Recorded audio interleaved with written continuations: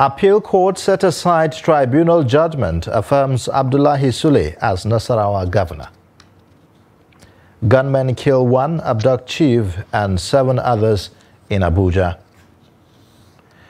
Bill to establish bitumen commission passes second reading in Senate. And away from Nigeria, Niger junta sues ECOWAS court to rule December 7th. Hello and welcome to the News Hour on Trust TV. I am Ayuba Ilya. Thanks for joining. The Court of Appeal in Abuja has reversed the judgment of Nasarawa State Governorship Election Tribunal, which sacked the incumbent governor Abdullahi Sule of the APC and declared David Ombugadu authentic winner of the March 18 poll. Trust TV's political editor Shafiu Suleiman reports. The appellate court in its judgment on Thursday set aside the lower court ruling stressing that the appellant was denied fair hearing. In a unanimous judgment, the three-member panel led by Justice Uchechukwu Onyemenam reversed the nullification of the election of Governor Sule of the APC. The appellate court's decision is on the grounds that the tribunal wrongly relied on the evidence of eight of the witnesses that were produced by the PDP candidate whose statements and oath were not front-loaded alongside the petition. It also held that Section 205, subsection 5 of the 1999 Constitution as amended Section 132, subsection 7 of the Electoral Act 2022 and paragraphs 4, subsection 5 and 6 and 14, subsection 2 of the first schedule to the Electoral Act posits that every written statement on oath must be filed alongside the petition within the statutorily allocated time. The panel of justices held that the evidence of 12 remaining witnesses that testified for the PDP candidate were not sufficient to sustain the judgment of the tribunal after it struck out all the evidence and exhibits that were tendered before the tribunal by the eight witnesses. The appellate court in another breath held that the tribunal acted in error when it deducted a total of 1,868 votes that were credited to Governor Sule on the premise that overvoting occurred in four polling units, even when the petitioners failed to provide necessary documents needed to prove overvoting. Dismissing the split judgment of the tribunal delivered on October 2nd, the court also vacated the order of the tribunal directing the Independent National Electoral Commission INEC to withdraw the certificate of return issued to Governor Sule as it affirmed him as the winner of the governorship contest. In March 2023, the Independent National Electoral Commission INEC declared Abdullahi Sule winner of the Nasarawa State governorship election with 347,209 votes against David Ombugadu of the PDP, who scored 283,016 votes. Thank God for the judgments just delivered. They were well considered. Out of all the judgments that were delivered, I think today we say it was 4-0. It was rather a very strange misconception of the case. And happily, this is not the, the final court in this matter. We already have instructions to test the decisions that have been rendered this afternoon, and we have already swung into action. We've gone into a game, and in a game, there'll be a winner and there'll be a loser. And of course, you don't expect the loser to celebrate. And they understand the way they feel. And um, the most understand, I must first of all have a state a government. It was carnival like here outside the Court of Appeal premises uh, with uh, supporters across party lines cheering their candidates to victory. Uh, this is a suit that has generated a lot of uh, interest on the side of uh, supporters of both parties. That is the supporters of the incumbent governor Abdullahi Sule of the APC and that of uh, David Ombugadu of the People's Democratic Party. From the Court of Appeal premises here in Abuja, Shafiu Suleiman, Trust TV News. Meanwhile, reactions have continued to trail Thursday's appeal court judgment that reaffirmed Governor Abdullahi Sule's victory in the 2023 Nasarawa State governorship election.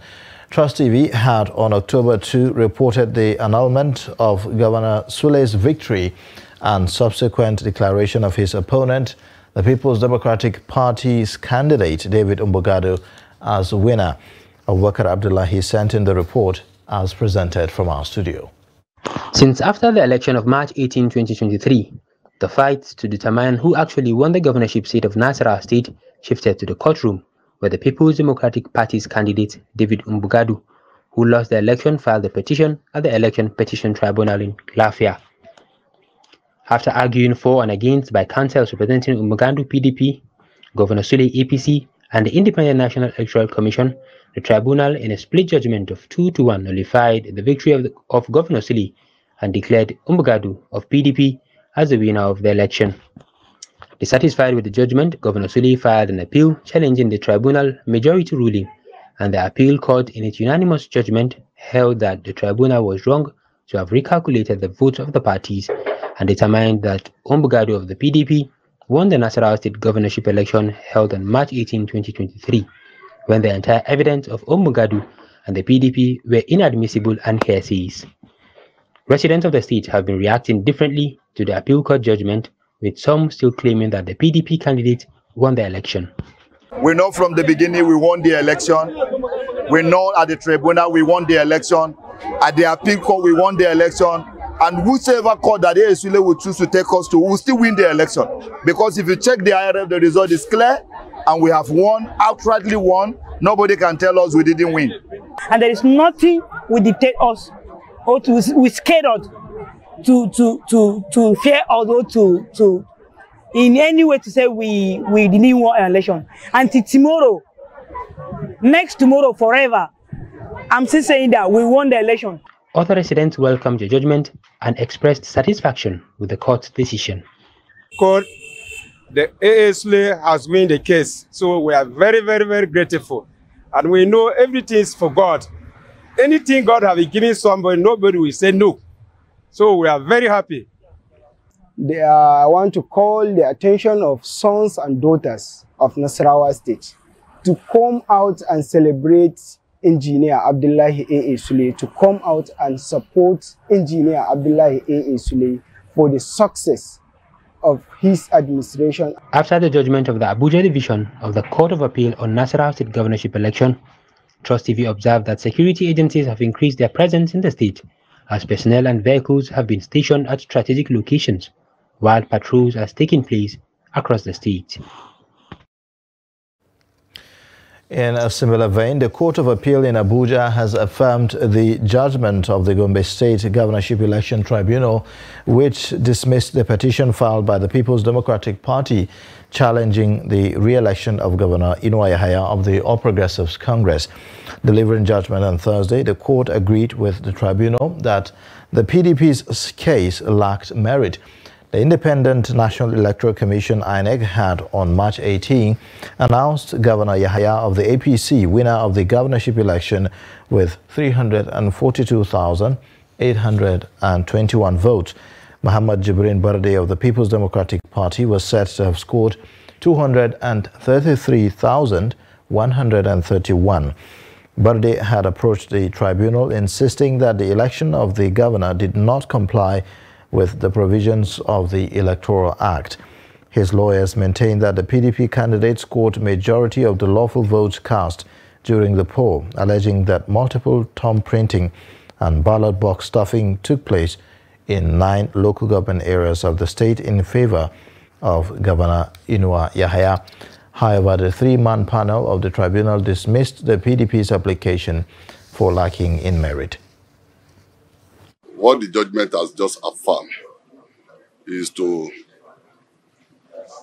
give approval to the decision of the people of Gombe as expressed with their votes on the 18th of March. Yes, we have just uh, received the judgment. We listened to same here. We will uh, consider the judgment when we get the copy, certified true copy of the judgment, seek advice of our advise our client on the next step in respect of the matter.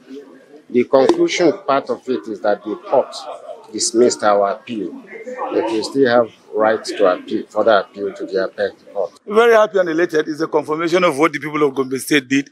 The elections in Gombe, as testified to by INEC and the observers, was very peaceful. It was free, it was fair, it was devoid of any kind of rancor or anything. the people of Gombe State came out and voted a mass for the people's governor, Alaji Mahmoud Inu. And what the court has just did today is to, uh, is to affirm what the people of Gombe State did.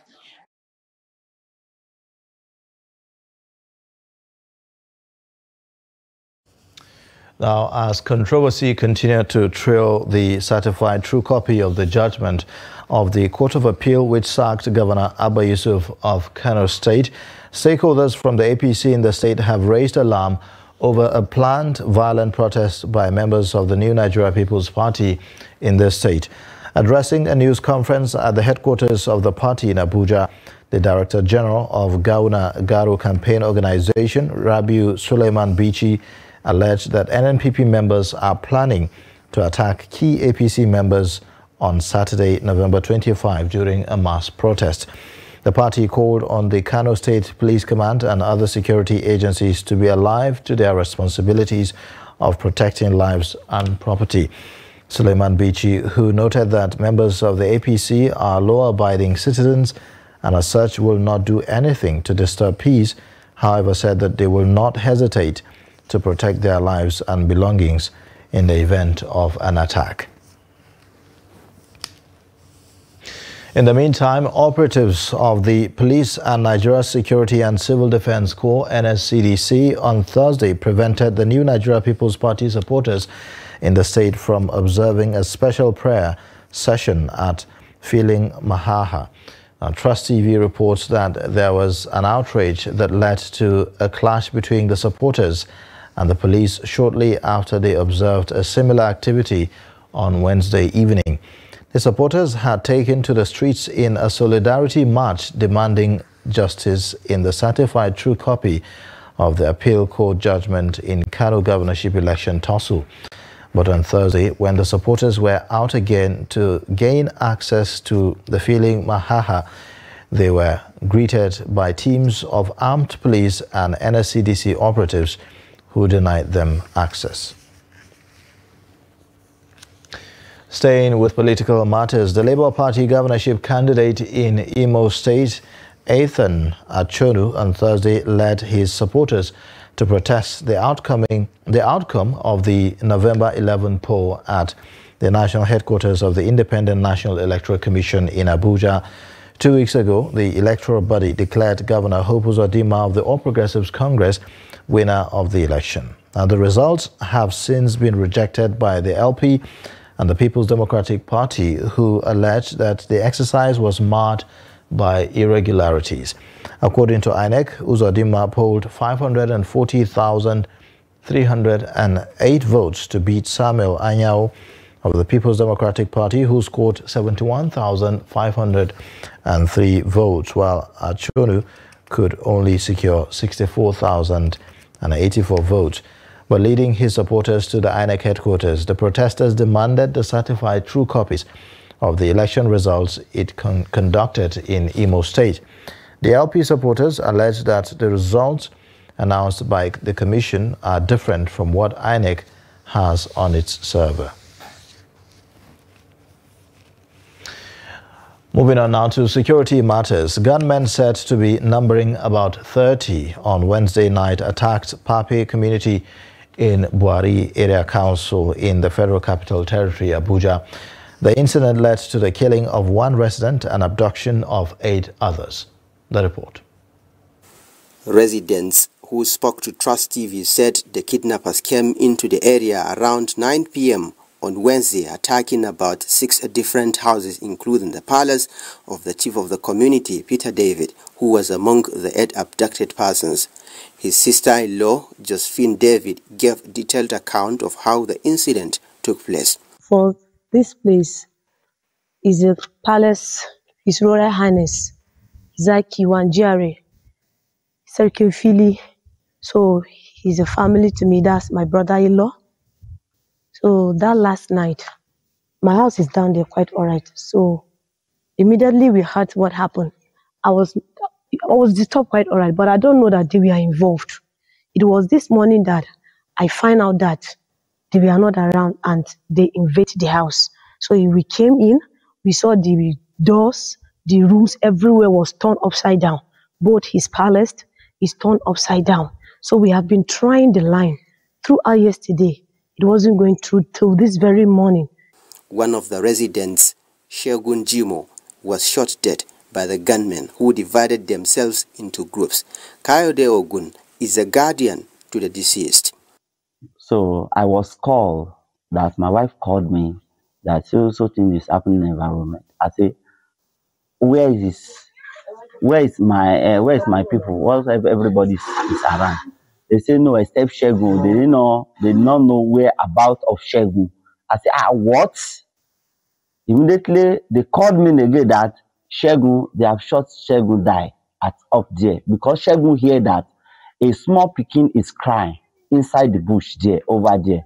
He won't go there to rush and rescue the baby from there. He was attacked with gun. Two residents, Chinwe Wozo and another lady who simply gave her name as Chichi were among those that escaped the abduction by the whiskers. They gave further details about how the attackers got to their respected homes and abducted one person each from their homes. My brother, they packed my my uh, my guy's shoe. They even my money. They burgled everywhere, all the rooms, collected money, collected shoes, um, carried everything like the thing they could touch, and then they now carried the boy together. The guy is he's a mature guy, around 31 or so. So next, I, saw some people they were like knocking. So in my mind, I thought maybe it's the people that are the boys that normally work for him, because some of them do sleep in his house. So when I stood outside and I said, let me go inside and lock door. And then I was seeing some men coming. So then I went inside because everywhere is lonely. So I went inside. I locked the door when I was locking this door. So I was kind of hearing their voices. I asked my mom that she should not talk, that some people are coming inside. I don't know who they are. The attackers also shot another resident who was rushed to an undisclosed hospital in Abuja where he was receiving medical attention. Now, worried by the recent rise in kidnappings in the nation's capital, the Senate has called on the FCT Minister, Nyesom Wike, to revisit the failed $500 million contract awarded in 2009 for the installation of CCTV cameras in Abuja and its environs. The Senate also wants the executive to install CCTV cameras in strategic locations across the 36 states to forestall incidences of kidnapping and other criminal activities across the country. The report. These resolutions, among others, were reached during Wednesday's plenary following a debate on a motion presented on the floor by the senator representing Delta North, Ned Nwoko. In his lead debate, Nwoko expressed concern over the kidnapping incident in Galadimawa area of Abuja, where 19 people were forcefully taken from their homes, including his senior legislative aide, Chris Agidi. He further noted that out of the 19 individuals kidnapped, 12 are feared dead while efforts to ascertain the well-being of the remaining seven victims are ongoing. Deeply worried that the failure to urgently address the kidnapping crisis in Nigeria, especially in um, FCT, could result in social unrest, loss of confidence in governance, humanitarian toll, economic decline, increased insecurity and potential international implications, all of which could profoundly impact the nation's stability, prosperity, and international standing. Contributing to the debate, Senators Enyinnaya Abaribe and Adamu Aliero noted that the security situation in Abuja has hit an all-time high as most people can no longer sleep in their homes for fear of being attacked. So many citizens no longer sleep in their homes they run into town and go back during the day. So there's something very, very serious going on in around the federal capital territory. No matter what we say, this is the capital territory of Nigeria. If there's anywhere that's going to be seen as very secure, this ought to be the most secure place in Nigeria. Now that it seems that uh, the same lackadaisical attitude to security is being taken to all of us are at risk. Mr. President, FCT is home for everybody. That's why everybody is now coming into FCT to stay because of relative security compared to other places uh, in the 36 states of federation. This is the seat of government.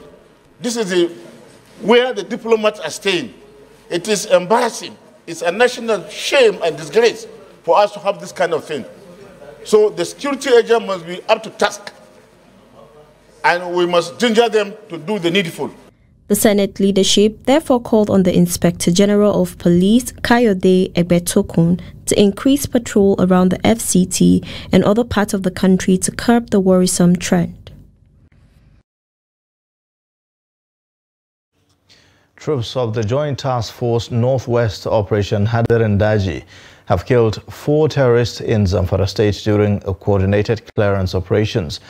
The clearance operations was conducted at some identified terrorist hideouts at Tazami, Mashema, uh, Gandaya, Maji, Doka villages and surrounding forest in Gandaya village of Bungudu local government area of the state. The spokesperson of the operation Hadarin Daji, Captain Yahya Ibrahim, who disclosed in a statement on Thursday, also said an unconfirmed number of terrorists escaped with gunshot wounds in the latest clearance operation.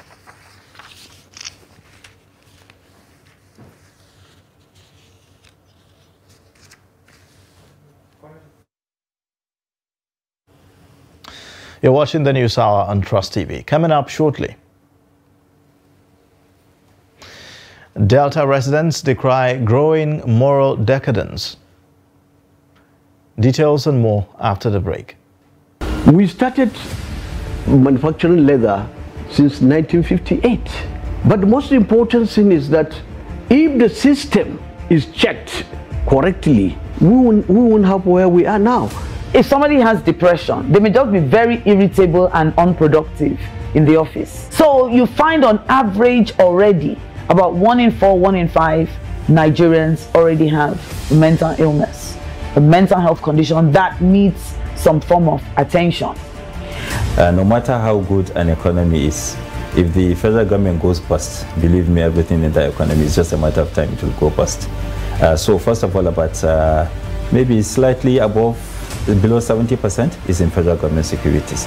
If government has uh, banned importation of fertilizer and states are doing it at the level of governance, but I believe that production and distribution of fertilizer should be left to the private sector. Uh, this is the general multi-purpose card and it has a chip here. So this chip is about 80 kilobytes. The one that you get from the bank for ATM is just 4 kilobytes. So this is like 20, 20 times.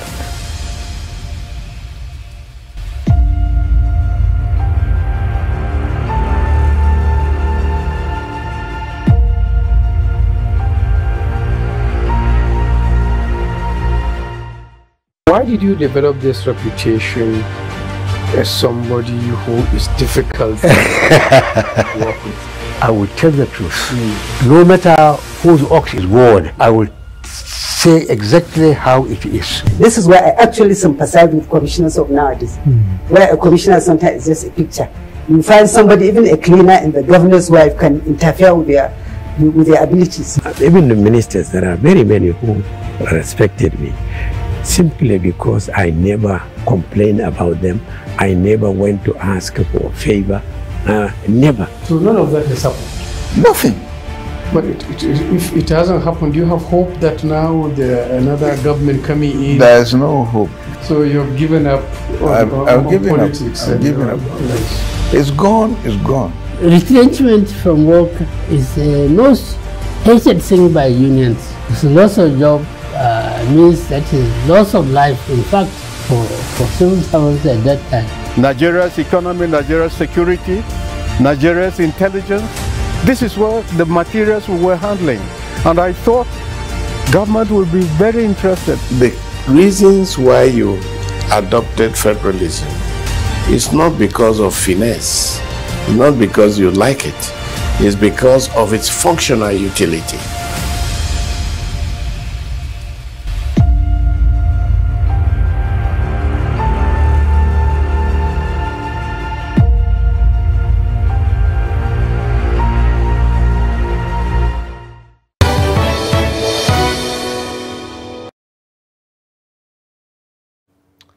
Welcome back. You're watching the news hour on Trust TV. Here's a reminder of our top stories.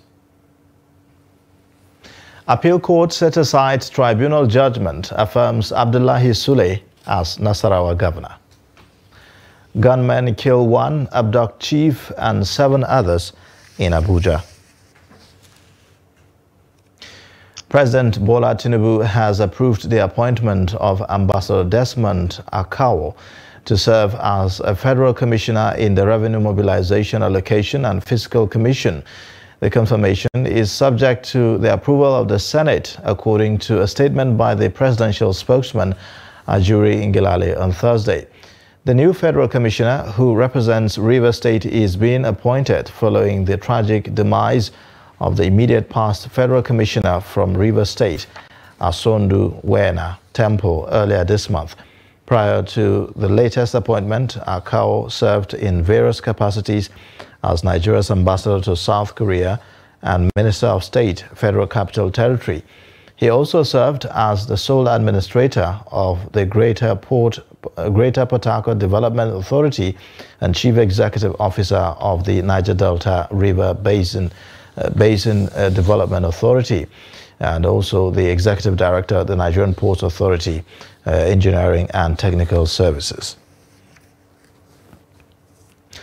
The establishment of a bitumen commission is underway as the Nigerian Senate this Thursday passed the bill for second reading. Sponsor of the bill, Jimoh Ibrahim, said that the piece of legislation seeks to provide a legal framework for the promotion of research, study, and exploration development and utilization of locally sourced bitumen in Nigeria. The report. In his lead debate, the Ondo South Senator Jimoh Ibrahim explained that the investment on bitumen is of immense benefit to Nigeria, being a $147 billion industry. He observed that the only way Nigeria could maximize the bitumen potential is to establish a commission to become one of five countries in the world that currently exploit bitumen. Senator Ibrahim noted that the product has the potential to serve as new oil in Nigeria. Even if we are to borrow money to develop bitumen today, there is no legal framework. So nobody can borrow us money when there is no any law. Even if we are to develop it and bring international skill, there is no law. We don't have any law. There is nothing can develop without law. Other lawmakers in their contributions stress the need for economic diversification of the country in view of its mineral deposits, which has remained largely untapped, citing bitumen as one of such mineral deposits. The bill is all about drawing attention to an important area that has been neglected, an area that has a potential of earning $110 billion bitumen is critical not only to the road network, but to the economic growth of Nigeria. The idea of a commission solely for bitumen, however, did not go down well with some lawmakers for reasons personal to them. Have difficulties in accepting that the creation of a commission will by itself lead to exploration of uh, our bitumen. Bitumen is nothing but heavy oil. Therefore, I do not think that it is outside the remit of the Petroleum Act. The bill nonetheless scaled to second reading and has since been referred to the Senate Committee on Solid Minerals. The committee is to report back in two weeks for further legislative inputs. Having read this bill for the second time, it is now referred to the Committee on Solid Minerals to report back to the Senate in two weeks. If the proposed legislation scales through both in chambers of the National Assembly and consequently a bitumen development commission is established after presidential assent, it will be the first law on exploration development and thereafter export promotion for bitumen in Nigeria. Rashidat Yusuf for Trust TV News. At the Green Chamber, the Speaker of the House of Representatives, Abbas Tajuddin, has stated that Nigeria must avoid more wasteful years since the Nigerian National Petroleum Company Limited has been commercialized and profit-oriented. Speaker Abbas stated this when the management of the NNPCL led by the Group Chief Executive Officer Mele Kyari paid him a courtesy visit on Thursday. Abbas called for measures to turn around the losses suffered by the economy due to the non-productive state of the nation's refineries by privatizing them for better management and productivity. Earlier, the Group Chief Executive Officer, NNPCL Mele Kyari, said that the company has recorded several successes owing to the use of the provisions of the Petroleum Industry Act. In a related development, Speaker of the House of Representatives Tajudeen Abbas has disclosed that over 300,000 barrels of crude oil per day are estimated to be lost in the country due to, the, to, due to theft, vandalism and other criminal activities. Abbas disclosed this in Abuja during his remarks at the inauguration of the House Special Committee on Crude Oil Theft. The report. The Speaker noted that some of the severe consequences of the crude oil theft to the nation include revenue loss, environmental disaster, threats to regional peace and security, proliferation of arms, and a poor investment climate. The Speaker lamented that the nation is reported to incur losses of oil revenues estimated at 1.29 trillion naira annually due to industrial scale theft. He therefore reminded the committee of its primary objective, which is to determine the remote causes of oil theft and recommend remedial measures to the House. Revenue generating agencies must ensure transparency in the management of generated revenues let me state clearly that the House will not tolerate low performance by agencies or failure to show evidence of required remittances to the Federation accounts. We shall also closely monitor and undertake strict oversight of the activities of all revenue generating agencies to ensure compliance. The chairman of the House Special Committee on Crude Oil Theft, Al Hassan Doguwa, lamented that the country is yet to tap into its natural resources due to crude oil theft. He expressed concern that most of the recommendations aimed at tackling crude oil theft in the country are left in the shelves unattended to. Distinguished ladies and gentlemen, oil theft is large-scale illegal business estimated to be worth 133 billion US dollars per year globally which makes it the world's biggest theft of a natural resource and is also considered to be the number one most smuggled natural resources globally. Recall that the Thant House resolved at plenary to tackle one of the large threats to Nigeria's economy, which is crude oil theft. State Governor Babagana Zulum says his government will enhance agricultural activities and create avenues for trans-border trade between the state and Chad. This, the governor said, will boost the economic life of the state and propel it to greater heights. Trust TV's Bitrus Kuruti reports. The governor who ferried over the Baga side of the Lake Chad Basin noted that communities that have returned after insurgency would be given livelihood support and humanitarian aid as well as encourage them to venture into large-scale farming. The governor also approved the construction of a new mega-size higher Islamic college in Baga town. He said the 2,000 student capacity school will combine traditional Islamic education with literacy, numeracy, digital and vocational education. So our first ambition is to see how we shall support the Nigerian Army, the amphibious command, how we shall support the naval base Baga here to clear the waterways, water heights and other grasses that are in the lake. It's two years when we came, we found not more than 100 pupils in the school. But now you can see up to about 1,500, 2,000 pupils are, are in the school. So this is an, uh, uh, an improvement over the past. So, and then we have recruited new teachers, you have seen them. Uh, What I shall do now is to see how we shall add more teachers.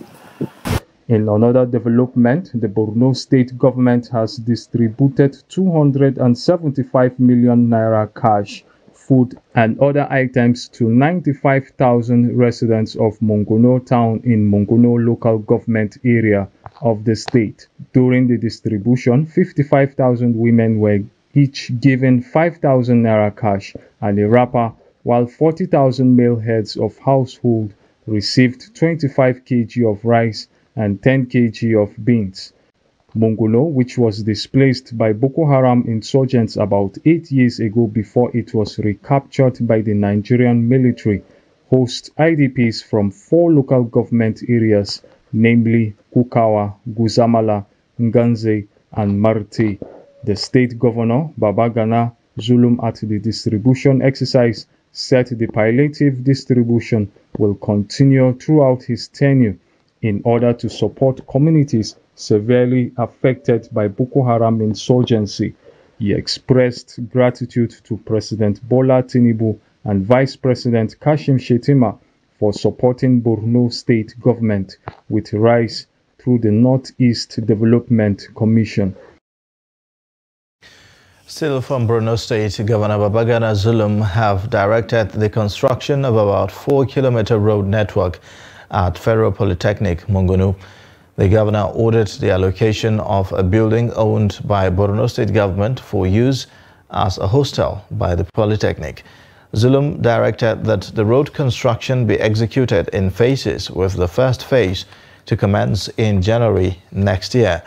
He gave the directive during a visit to the permanent site of the Polytechnic, which is under construction in Monguno town. Meanwhile, Governor Babagana Zulum has approved the release of 20 million naira to the specialist hospital Monguno for the hospital's management to cater for the hospital's immediate needs. Zulum also ordered an incentive package to be distributed to all staff who had reported to work at the time of his visit in order to motivate them. I want to commend to Chief Medical Director of the Hospital's Management Board. I also want to commend the Principal Medical Officer and all other uh, medical and paramedical staff that are working here. In order to encourage you and provide additional fund 20 million naira to you. Sit down and identify some of the major challenges.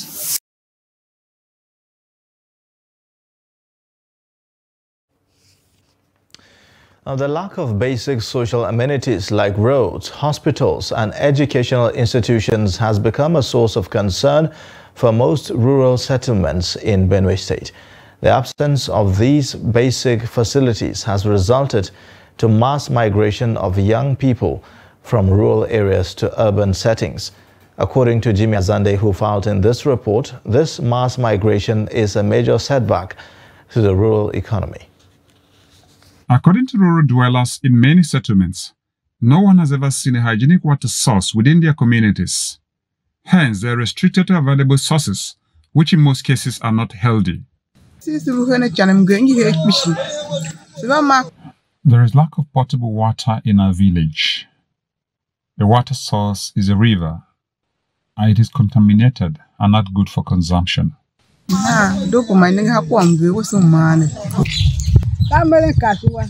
I am a food vendor, and my major challenge is potable water. This is negatively affecting my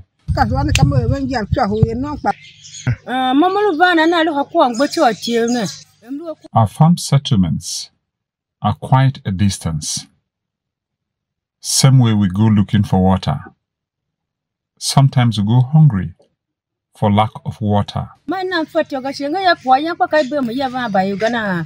The absence of health facilities and electricity, they also said, is the reason why many prefer to migrate to urban settlements like Makurdi.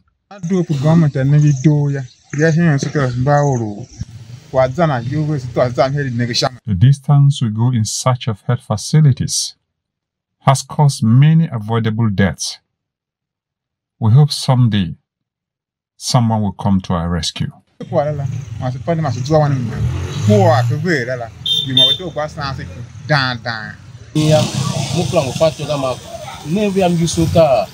I travel far away to recharge my clippers for the headquarters business. Without electricity, my business is suffering setbacks. This is the reason why many people choose to, to live in town than live in villages. Opinion experts and policy analysts opine that granting local government autonomy is the only way development can reach rural communities.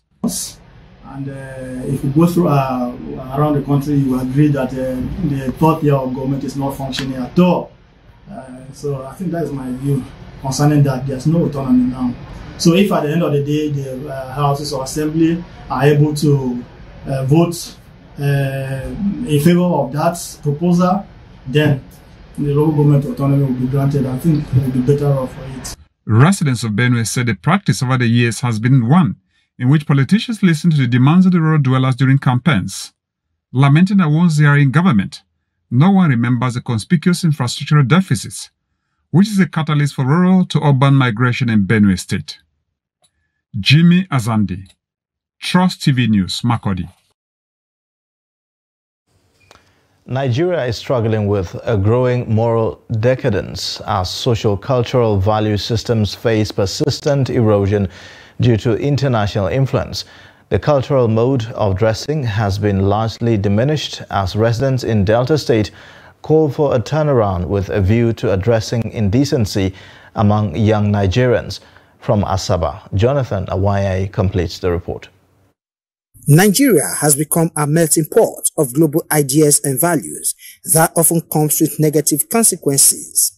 That growing influence of media and how it shapes the lives of people have been largely responsible for decadence in Nigeria's society today. While social shifts happen from generation to generation, the pervasive nature of dressing among youth have given residents cause to worry. Indecent dressing that has ravaged our youth today is Western, I mean Westernization. Let me put it that way. These people are people here, uh, Nigerians. You know, we are good in copying bad things. It has gone a long way. This is decent dressing. It has gone a long way. Because if you watch most of our boys or the youth, let me say, out of watching films, if not, this sagging of trousers supposed to be what they do in America in those days, prisoners. Because you know when they lose their bet, the trousers will sag. So that is just the major thing. That's why the prisoners, that's their dressing. But I wonder why are you now saying making use of those kind of dressing? I call a guy. Actually, it's not supposed to be African culture. The declining moral standards in some Nigerian communities has impacted negatively on the productivity of youths, and some say parental and institutional guidance can mitigate the dangerous trend by gatekeeping immoral and indecent behavior. Mothers should help their girl child to educate them to dress well and they look neat and look decent so that they will see good husband to, to marry. Because any person not well dressed will not see any good husband, they will marry their type. And marrying their type, what type, of, what type of children will they give birth to? They give birth to the same uh, to wear to certain occasions because for instance you can't be sagging or wearing ripped jeans and be going to church it's not right it's not proper it's not allowed. Or you can't be wearing mini skirts and go for all these occasions like marriages or conventions. And it's not right and it's really not something that you'd have to give yourself a name for for something like that. Like they said um dress the way you want to be addressed. It's good you don't need to be expensively dressed to be decently dressed. All you need to do is just to cover the vital parts of a woman's body. A woman needs respect, dignity.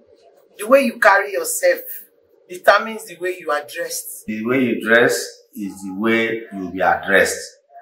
Therefore, children should learn to dress moderately and parents should encourage their children to dress properly and not uh, indecently because it will give the family a very bad name in the school, uh, it is uh, very, very common to find school children cut their own dress that have been sewn according to the school style. While many youths consider their mode of dressing a fashion trend, the phenomenon, if left unchecked, could undermine the integrity of Nigeria's social fabric.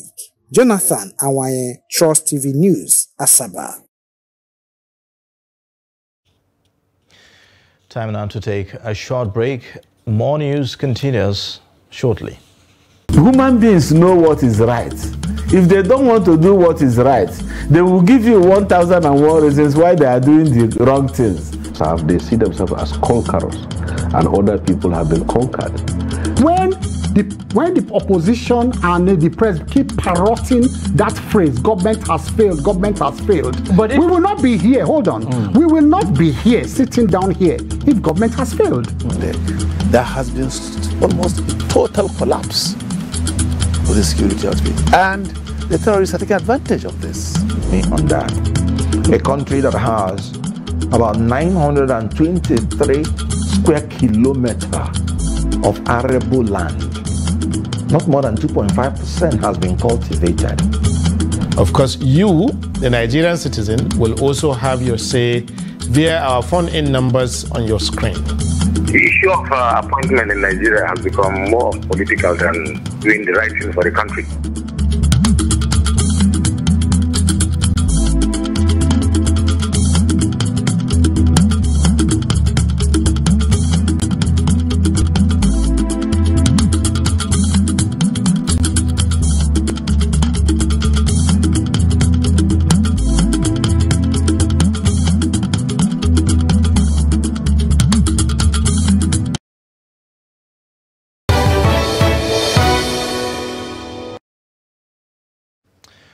Thanks for staying with us. It's now time to take a look at business update with Chiamaka Nwafo.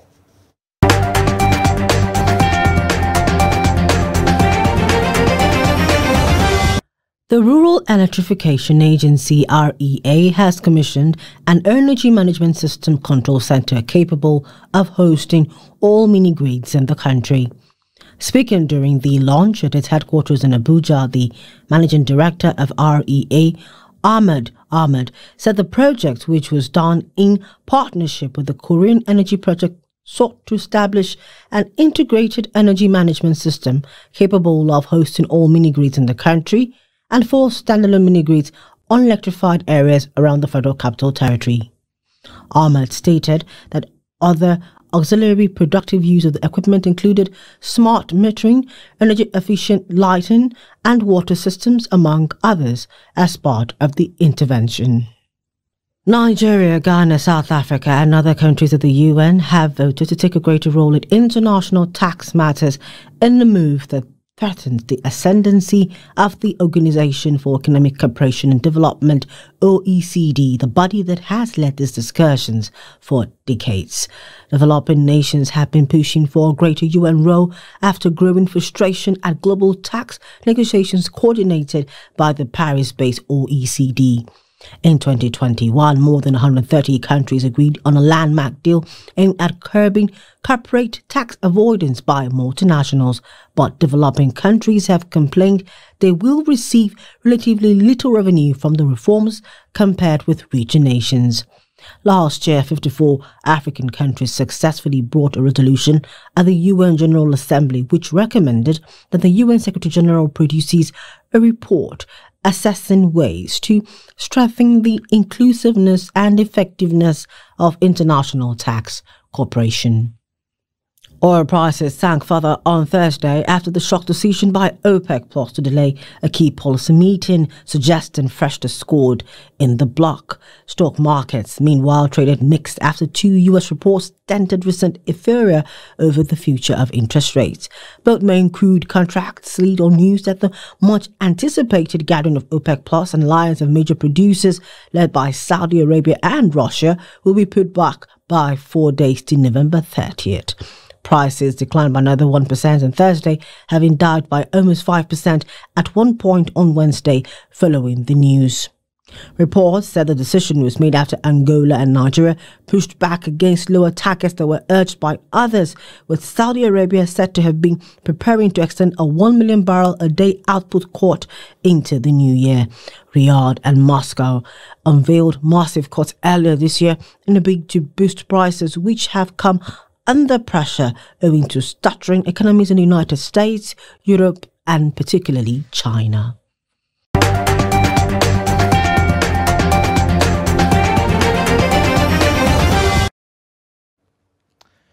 And away from Nigeria, Niger Republic junta led by General Abdurrahman Tchiani has sued authorities of the head of state and government of the Economic Community of West African States over sanctions levied by the West African bloc on the country following the takeover of power by the military.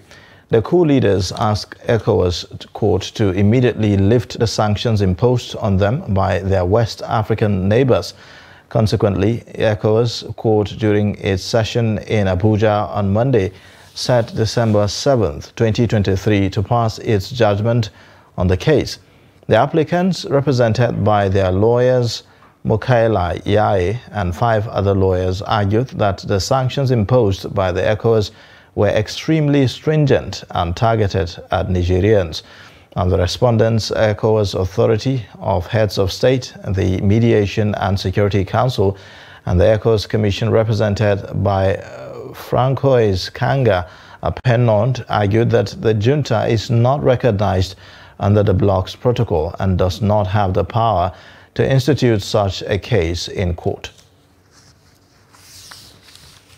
Ambulances were on standby Thursday as Indian rescuers dug through the final meters of debris, separating them from 41 workers trapped in a collapsed road tunnel for nearly two weeks.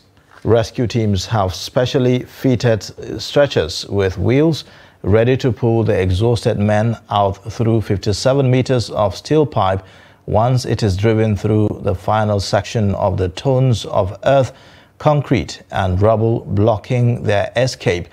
Emergency vehicles and a field hospital stood ready, uh, preparing to receive the men who have been trapped since a portion of the under construction tunnel in the Himalayan state of Uttarakhand caved in 12 days ago. Now, but rescue efforts have been hit with repeated delays, including more debris falling fears of further cavings and drilling machine breakdowns as progress on Thursday was slowed by further mechanical problems. Now, Uttarakhand Chief Minister Pushkar Singh uh, Dhami said that the work was on a war footing with a team of doctors, ambulances, helicopters, and a field hospital set up. And in sports news, Super Eagles forward Taiwo Awoniyi has been ruled out for months following a groin injury and risk missing Nigeria's outing at the delayed Africa Cup of Nations build for early next year. The striker picked up the injury in Nigeria's 1-1 draw with Lesotho in a Group C qualification game for the 2026 World Cup. Awoniyi, 26, has been instrumental for Forest this season. Already, the 26-year-old has four Premier League goals in 10 matches. Let's now take a look at more sports updates with Adeni Ajishafe.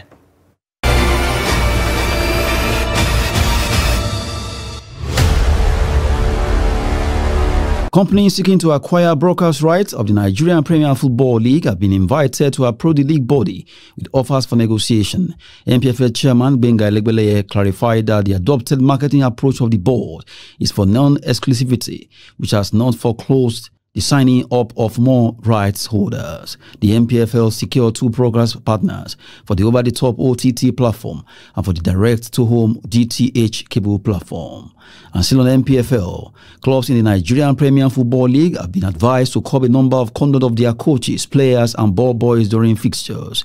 Regulating match day conduct of coaches, players, and ball boys, NPFL Chief Operating Officer David Owumi reminded NPFL clubs that relevant provisions of NPFL framework and rules will be invoked to ensure no individual or group demean the public perception of the league. A memo issued to clubs drawing attention to dress code of coaches categorized as appearing for matches in inappropriate apparels that portray the entire league in the bad light, with such coaches charged based on relevant provision of rules. NPFL also frowned at hiding match balls by ball boys of home teams for undue advantage through time wasting when the ball is out of play. NPFL mandated match commissioners and independent secret assessors to eradicate the disappearance act of ball boys with balls to the advantage of home teams in the course of a match. Match commissioners have been issued a new practice direction of ensuring that the numbers of ball boys and balls remain the same as it was at the start of the match. Match commissioners are henceforth at liberty to ask the referee to add every minute wasted by this disreputable conduct, as NPFL would not hesitate to impose appropriate sanctions on offending clubs. That's Sport News. I'm Adeni Akinsafe.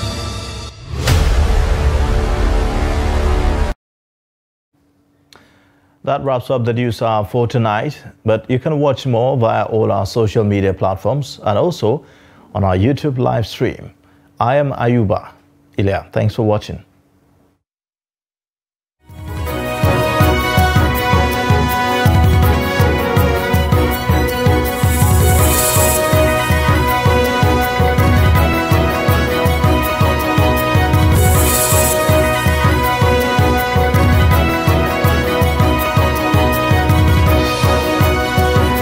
From the Daily Trust News Center, this is the News Hour.